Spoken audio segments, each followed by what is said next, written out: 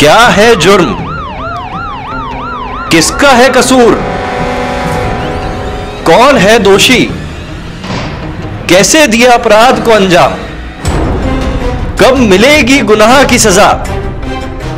इन सब के लिए देखते रहे आर आर एन न्यूज़। बेखौफ, बुलंद आवाज़।